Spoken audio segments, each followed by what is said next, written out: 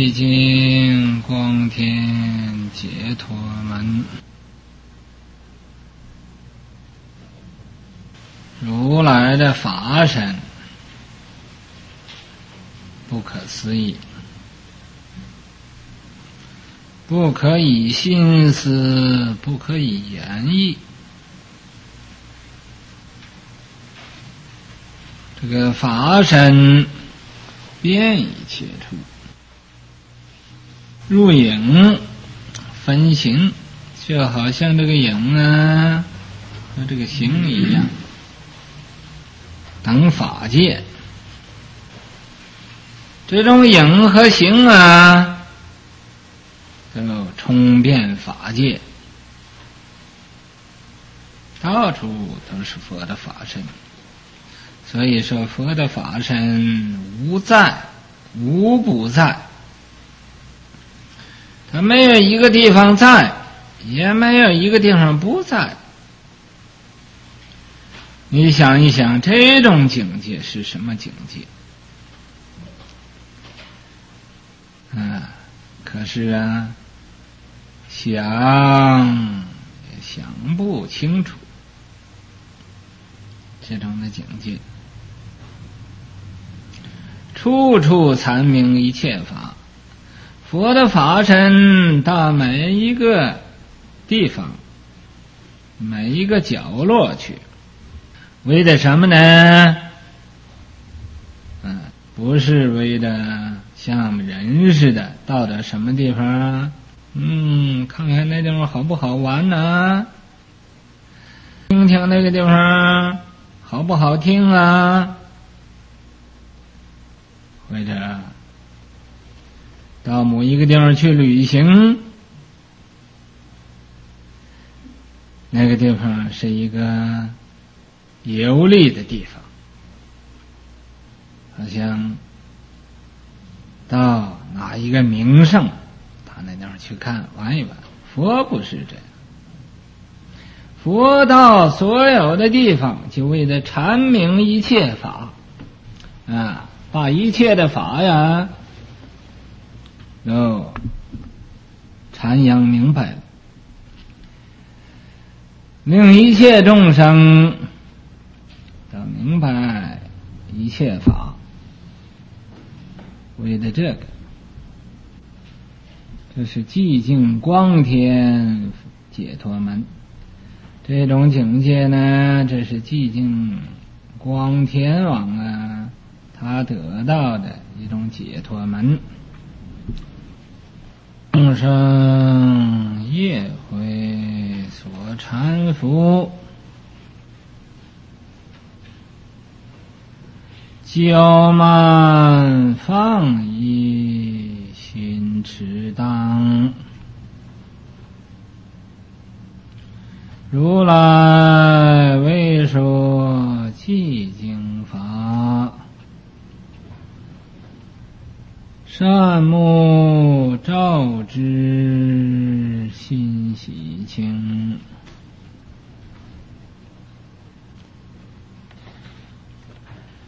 众生啊，有这个起毁造业，就要受果报。所以说，业毁所缠缚，缠，就像用一个绳子把它绑上了似的，绑着不能动弹。符就是盖上，好像自己在一个缸里边，上边用个盖盖上。这时候啊，行动都不自由。想要出去这个缸呢，也出不去，常常在这个黑暗的里边。那么，在这个国家人，人都讲自由，其实啊，只是误解自由。不管小孩子，这是自由啊！等小孩子做了坏事的时候，会做坏事的时候，想要管他也不听管。咱们这个都是这个业悔所缠缚，骄慢，这个骄，这个骄傲。慢，就是我慢；骄傲，就是看不起一切人；我慢，就是对人呢没有礼貌，没有礼貌，也就是对人人都不客气。放逸，放逸是什么呢？我相信呢，美国人呢，人人都欢喜这个，欢喜这个放逸。放逸就是不守规矩，不守规矩就是不愿意守规矩。你要说你应该守规矩，哼，他就反对了。什么叫规矩？归谁的矩呀？啊，归你的矩好了。不要归我的剧啊！有人嘛还想要叫人不守规矩啊！你看，叫人不守规矩，专门想法子叫人不守规矩。谁呢？叫人不守规矩，我就叫你们不守规矩啊！啊，好像果树去到那个地方给谁讲，我首先。他问我说：“这个小孩子叫他怎么什么呢？”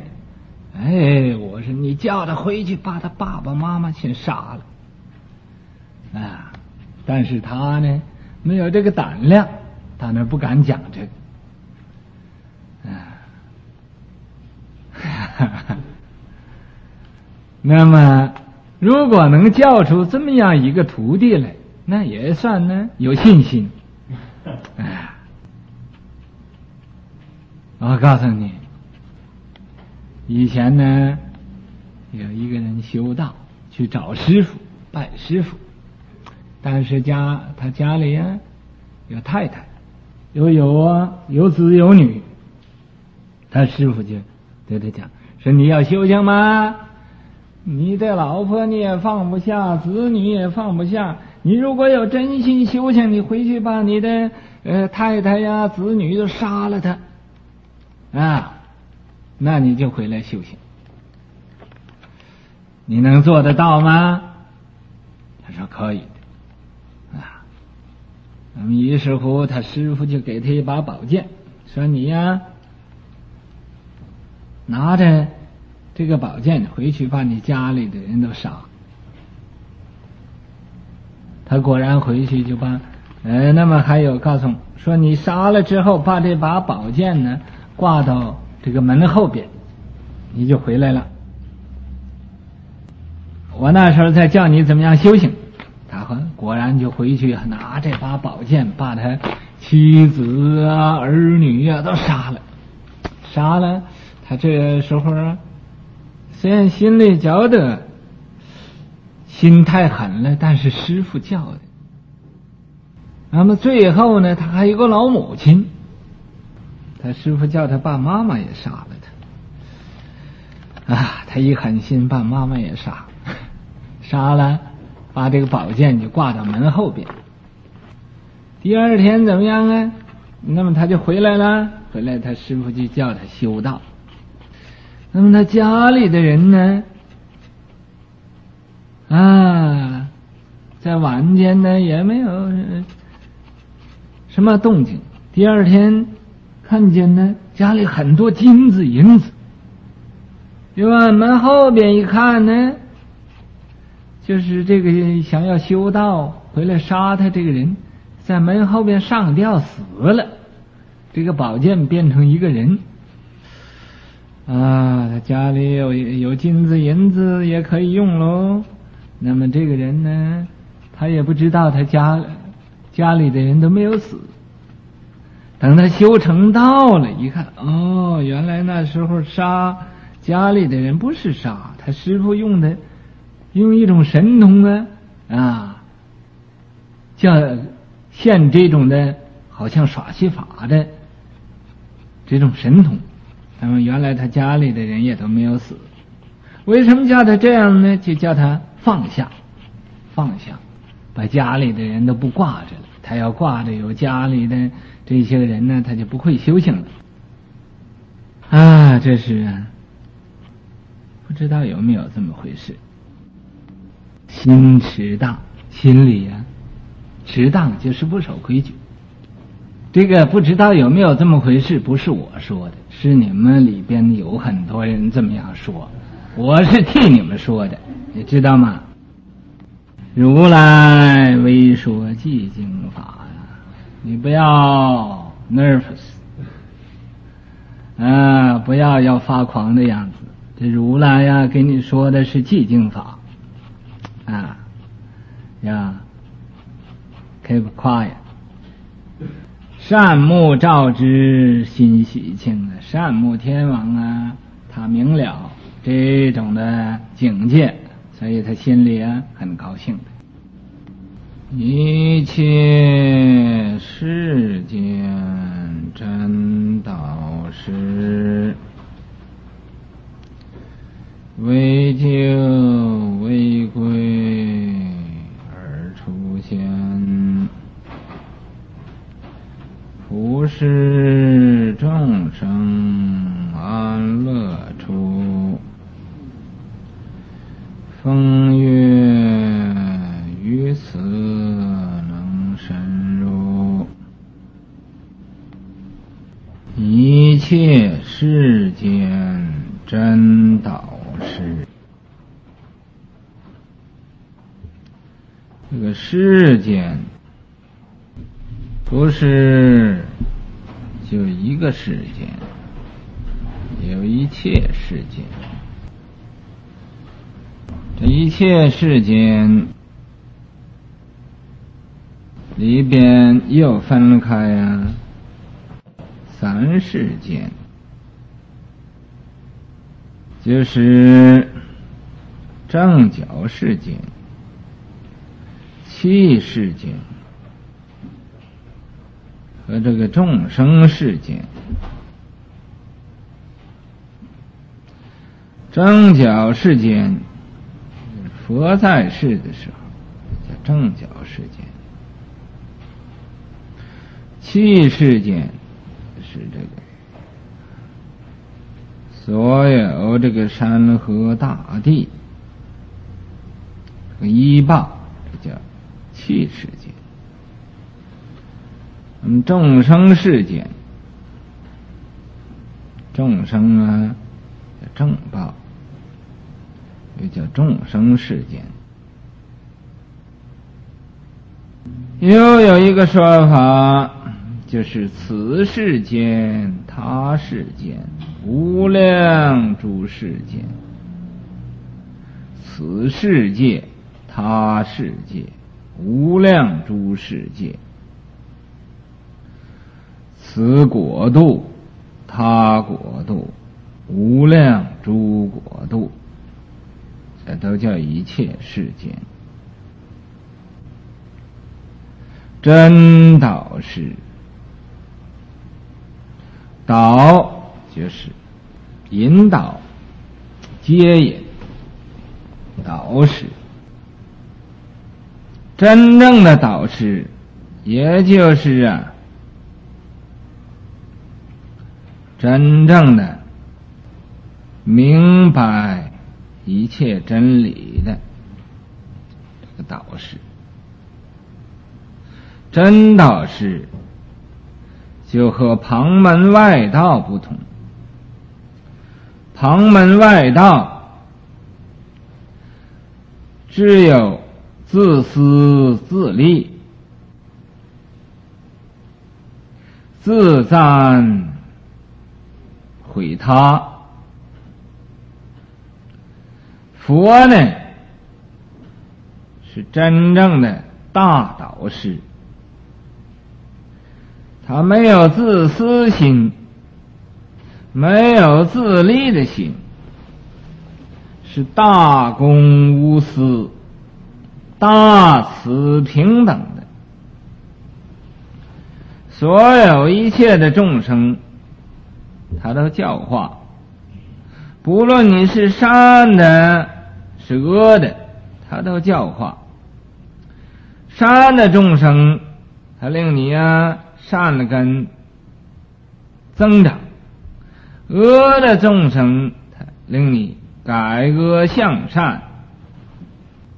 在佛法里头，不舍弃一个众生，所以这是真正的导师，是出世间的导师。他能由这黑暗的道路上，把你引导到光明的道路上。他能以由你这个无名烦恼教化你，令你变成智慧菩提。令你返迷归教，舍邪从正，所以是一个真正的大导师。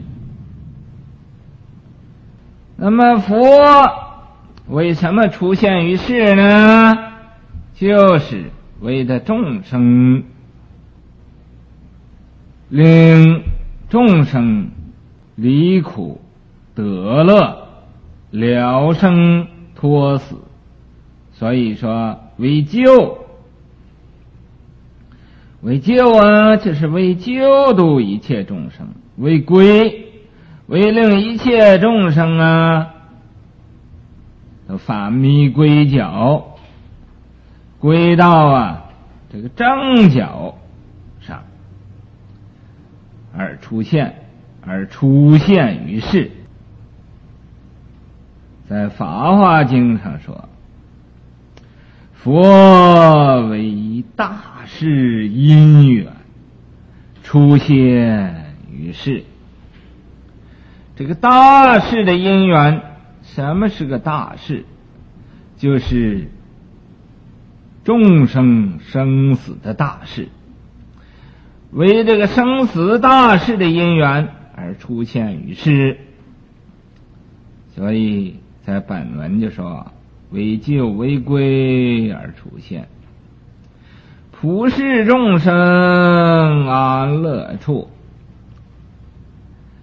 他普遍的指示一切众生，不是单单只是这个善的众生。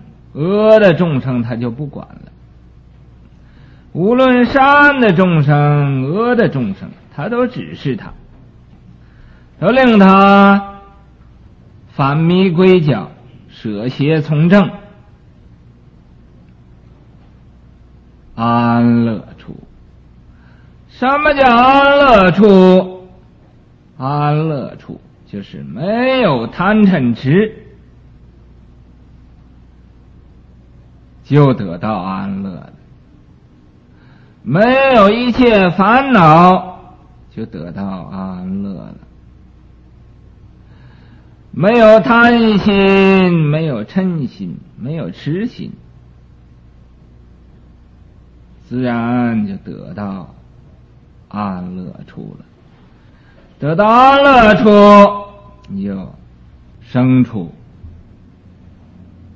戒心、定心、慧心啊！你能有戒心，修持这个戒律，也是安乐处。你能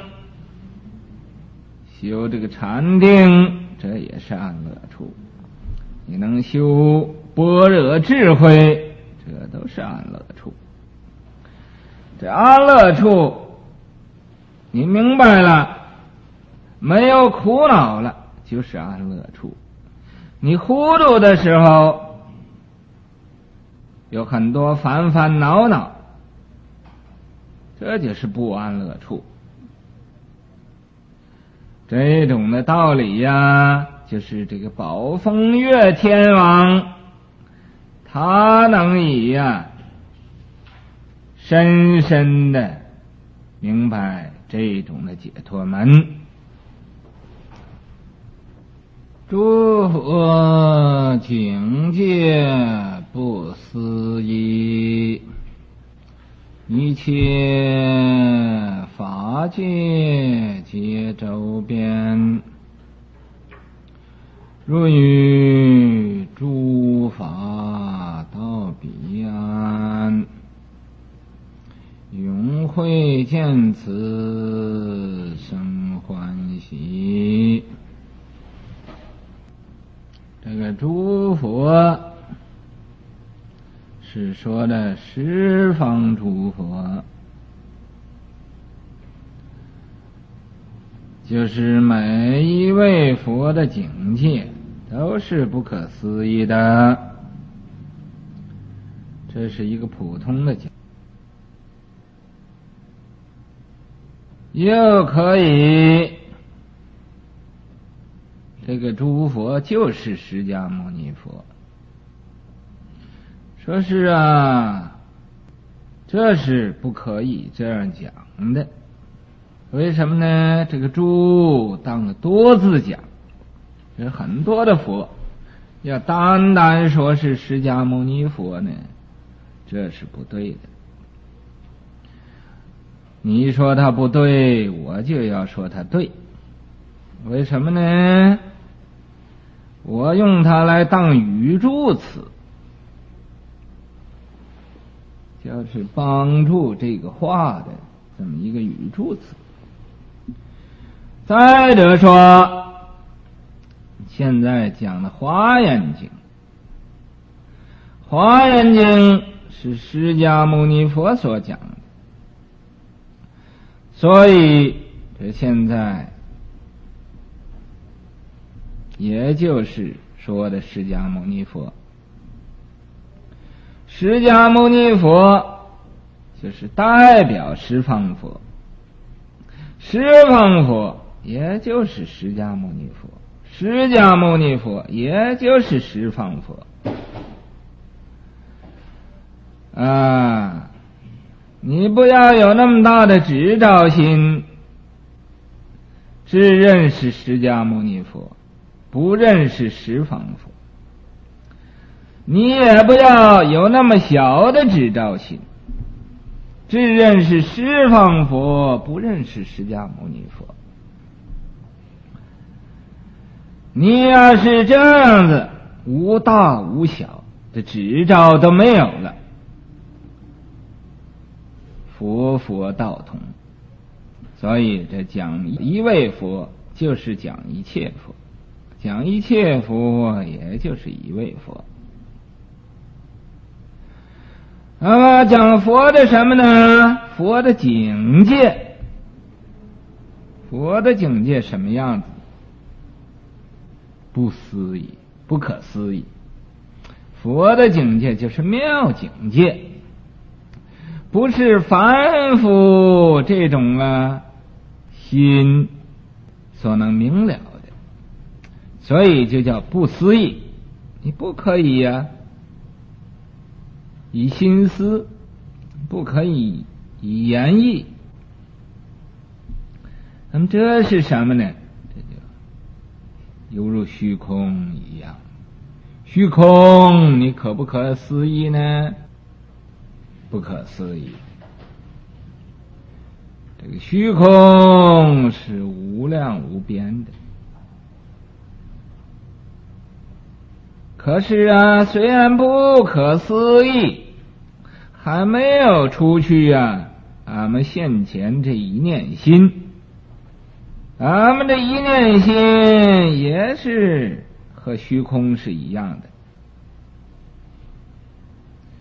没有边际。所以说，诸佛境界不思议，一切法界皆周遍。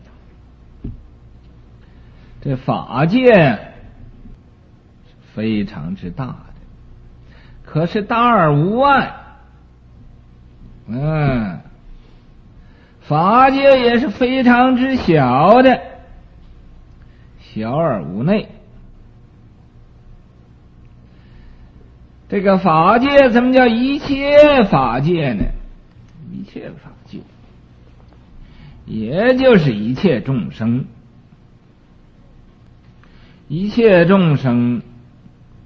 也就是一切法界，皆周遍，就每一个众生心都受佛的光明来照耀，所以叫皆周遍，周遍照耀一切众生的心，照耀一切众生的心干什么呢？入于诸法。令一切众生啊都明白这一切的诸法，明白诸法之后，依法修行，不是单单明白就算了，要依法修行，依法修行就能到彼岸，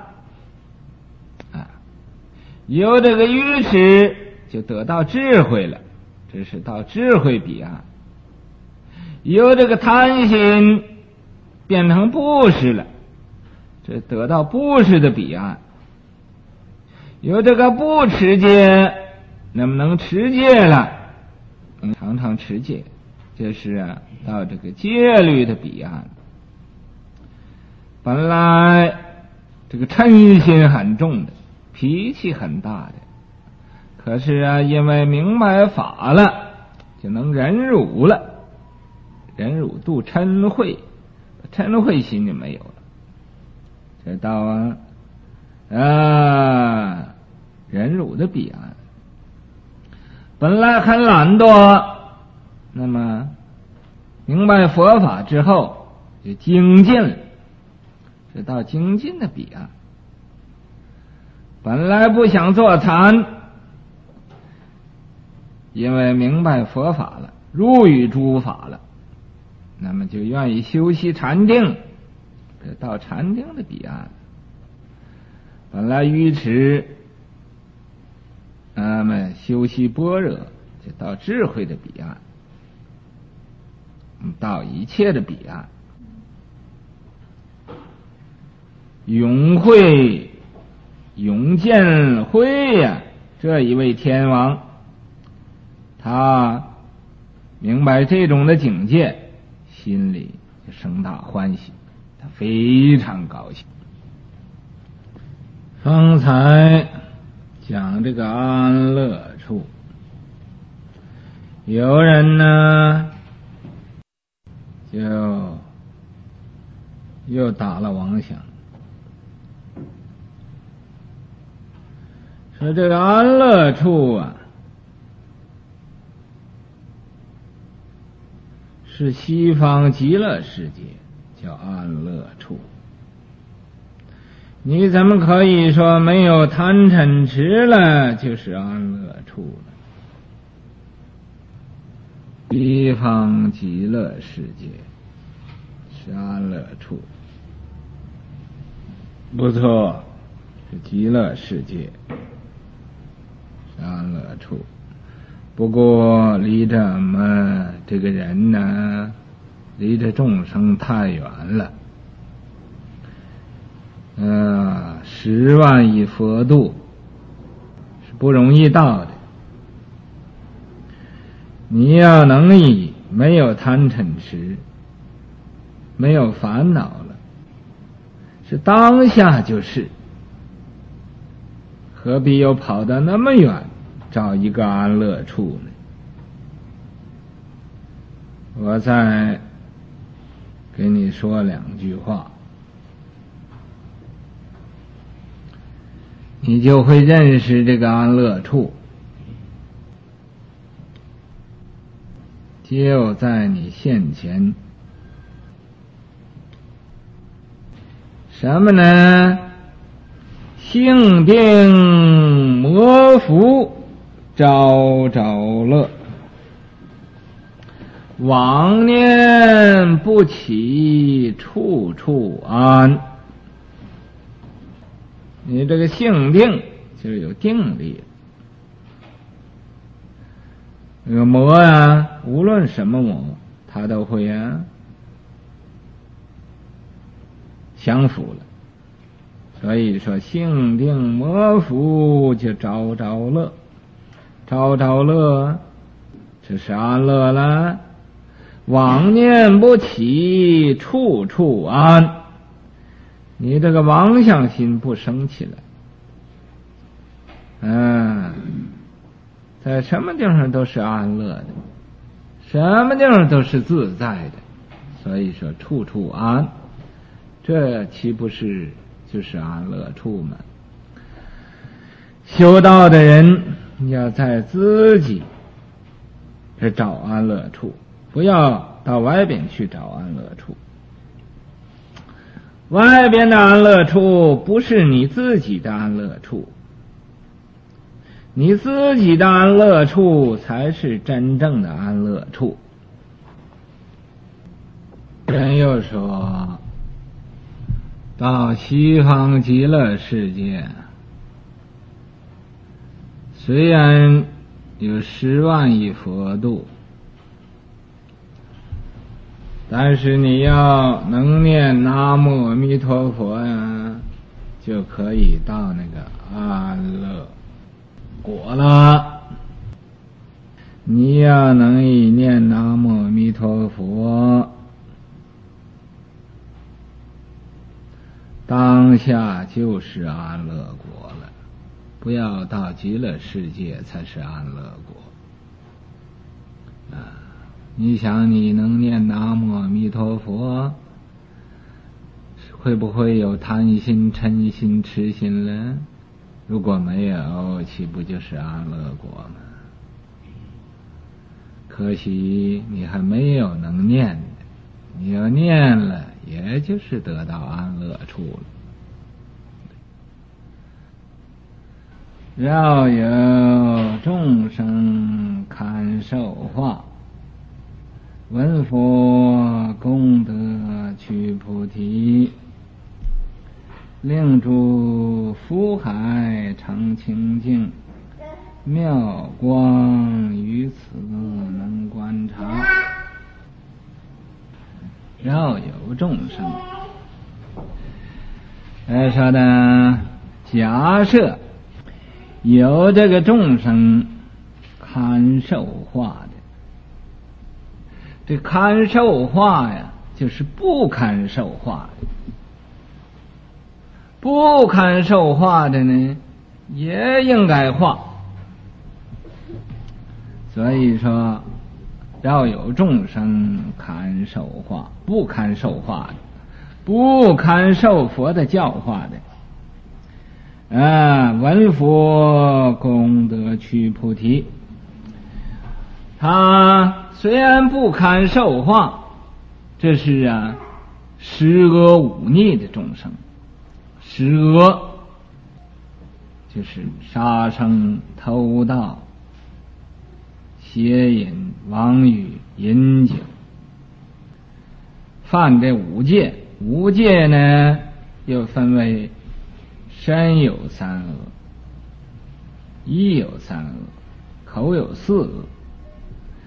身有三恶，就杀盗淫；意有三恶，就是贪嗔痴。啊，口有四恶，就是其余妄言，恶口两舌。这十恶，你要把它翻过来，就是十善。啊，不翻过来就是十恶。忤逆就是弑父弑母，弑阿罗汉，破和合僧出佛身血，忤逆罪。这一类的众生啊，本来都不堪受化，但是啊，闻佛功德去菩提，虽然他们不堪受化，但是听见呢。这个佛的功德，他们也发了菩提心啦，发菩提心，所以佛呀令住福海常清净。那么是令这一类的众生啊，他的菩提心永远也不坏，令住到这个功德福海里边。常常得到清净，妙光于此能观察。这金刚妙光天王啊，他对这种的境界，他能啊观察，能明白，能得到解脱。刚才他念那个东西，你们。谁有有没有什么意见？对这个开会的记录做的示范呢？属属于佛教的事情都可以做的，但是做呢，这必须要先把这个事情啊，咱们怎么样做法，怎么样啊，把它搞清楚了。没有弄清楚，所以这个首先就是做。什么啊？俺们要做出来这个东西有价值啊，对佛教有什么贡献？这可以的。再者说，做出这个字典，首先要是属于哪一个人的？这个版权所有是谁有的？是属于佛教的呢？是属于个人的？啊要属于佛教的，那么造这个东西是谁拿钱出来？经济的来源怎么办？这先要清楚啊。然后我们这个字典造出来，是送给人呢，还是卖给人？卖给人是怎么样子？送给人是怎么样？这有很多这个问题。都应该研究清楚了，这些个问题都没有研究清楚了，就这么呃做做做，就是哦后边有个名，这个名有有什么用的？要那个名干什么？啊，谁做的多，谁就有个名。哦，这完全是为的名而做的，是不是？那那怎么样？嗯，我愿意从还不会，我还没有看清楚我这个错的地方，是不是？我这个做应该做这个事情，就胡了八涂就做下去，是不是？十方刹海微尘说，一切佛所皆往昔。恭敬供养听闻法。此庄严床之所见。十方刹海微尘数。呃，听过经的人也不需要解释了。没有听过经的人，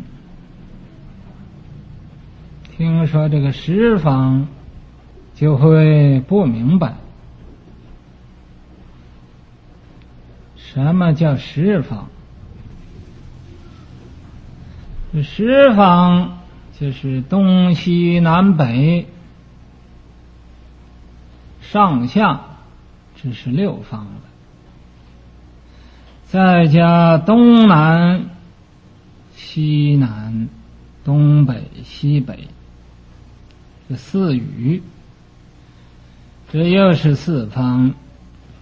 那么合起来呢，这十方，